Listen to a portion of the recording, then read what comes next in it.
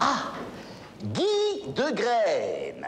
Savez-vous, messieurs, que notre ami Guy de Graine, levez-vous, a le plus beau palmarès de sa classe. Prix de gravure sur les tables, bien entendu. Prix de dessin sur les murs et sur ses cahiers. Car voyez-vous, monsieur Guy de Graine a la passion des plats, des couverts. Mon pauvre Guy de Graine, c'était pas comme ça que vous réussirez dans la vie.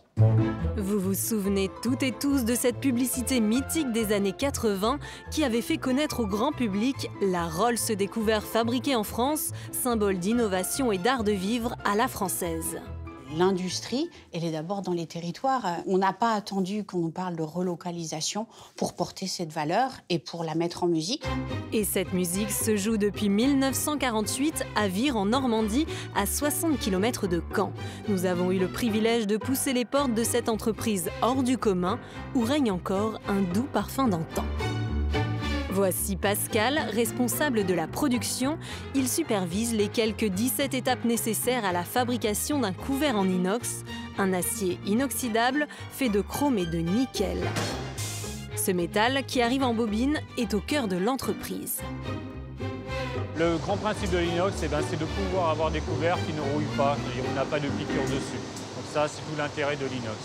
Et ensuite, l'inox a aussi d'autres vertus, on peut aussi faire de la dorure dessus, on peut aussi l'argenter. On va en mettre encore un deuxième. Là, on est sur l'opération des moutures. L'opération des moutures, ça consiste à donner la finesse de la lame. La lame qui a été laminée, qui a une épaisseur assez importante. L'opération de meulage va consister à réduire l'épaisseur de la lame c'est ce qui va permettre au couteau de pouvoir ensuite être soit cranté ou affûté et d'avoir toute cette fonctionnalité. Quant aux fourchettes et aux cuillères, c'est environ 2000 pièces par jour qui passent par cette estampeuse, à l'intérieur de laquelle une charge de plus de 600 tonnes est appliquée. L'opération d'estampage consiste à frapper le flanc entre deux matrices, qu'on appelle nous une matrice. C'est un élément en métal dans lequel il y a le décor Lorsqu'on va frapper, on va transposer ce décor sur le plan de base. Et chacune de ces matrices ou formes part en maintenance après chaque fabrication vers l'atelier de gravure. Alors Pascal, ça se passe bien? Merci. Un des outils euh, primordiaux pour pouvoir réaliser euh, bah, tous nos couverts, tous nos couteaux. Et euh, donc c'est nous qui gardons encore la maîtrise de tout ce savoir-faire de façon à pouvoir adapter au mieux nos formes. La vente de couverts et autres objets d'art de la table a explosé depuis le confinement, mais plus que de simples ustensiles de cuisine, certains objets iconiques de la marque font partie de notre imaginaire collectif. Ces bros par exemple, on les a tous vus, on a tous pris de l'eau à la cantine. Dans ces bros, on en fabrique encore aujourd'hui des milliers de pièces et c'est sûrement une très bonne alternative à tout ce qui est jetable et ce qui pollue. Donc on est assez fiers d'avoir ça dans le patrimoine de notre maison. La famille fabriquait des couverts en étain avant la Deuxième Guerre mondiale, mais en véritable visionnaire, Guy de a voulu repenser les arts de la table.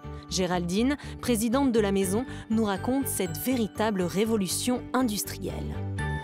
Il a bien vu que le rôle de la femme allait considérablement évoluer au sortir de la guerre et donc on allait avoir besoin de choses euh, qui seraient plus faciles d'entretien et notamment pour démocratiser l'argenterie. Donc l'acier inoxydable a été son matériau de prédilection. Et c'est ainsi que naissent les ménagères, un service de couvert que tous les foyers peuvent utiliser sans ménagement. Et si l'homme d'entreprise a su tirer son épingle du jeu, c'est grâce à une idée révolutionnaire. Pour faire des couverts, il nous faut des matrices.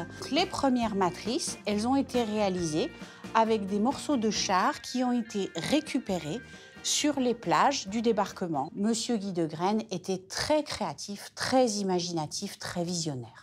Si la plupart des opérations s'effectuent grâce à des robots, certaines d'entre elles sont encore faites à la main, comme le polissage des louches ou encore le contrôle qualité. L'opératrice va contrôler toutes les pièces, une à une. Euh, elle va contrôler donc la lame, le, manche. On va écarter les principaux défauts. Les pièces vont être ensuite affûtées et mis en sachet pour être envoyées à notre magasin. Alors l'opératrice, c'est mon épouse. On s'est rencontrés ici. Moi, ça fait 35 ans que je suis ici. Donc, après avoir occupé différents postes, euh, Donc en ayant démarré euh, sur des machines, euh, sur des presses injectées, ensuite sur des presses d'estampage, presses de découpe. à la suite de tout ça, je suis aussi devenu chef de projet sur toute la partie couverts et couteaux. Ces couverts made in Normandie séduisent de plus en plus de particuliers et de grands chefs qui s'attachent à consommer local, si bien que l'entreprise de Vire envisage de créer sa propre école de polissage pour permettre à ce savoir-faire français de perdurer.